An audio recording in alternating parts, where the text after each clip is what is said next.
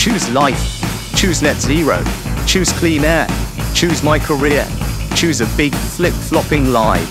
Choose ignoring climate experts in favor of a Daily Mail hack. Choose seven-bin gaslighting. Choose saying you understand the struggles of ordinary people while keeping a straight face. Choose your friends, well not working class friends. Choose this deceitful hunt. Choose exorbitant rents and insufficient housing. Choose to put your penis in a dead pig's gob. Choose the governmental shelf life of an iceberg lettuce with the financial savvy of a root vegetable. Choose sitting on a damp couch, breathing black mold in a mind-numbing, spirit-crushing Tory shit show. Choose nepotism, sycophancy, and barely concealed cronyism. Choose Windrush. Choose deportation and wondering where the f you are on a Sunday morning. Choose dying alone in a COVID-infested care home. Nothing more than an inconvenience to the small, self-entitled brats you put in power.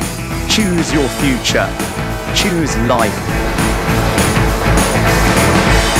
But why would I do a thing like that? I chose not to choose life. I chose short-term populism.